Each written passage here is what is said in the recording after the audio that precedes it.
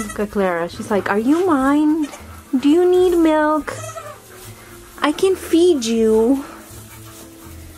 I can steal you from your mommy.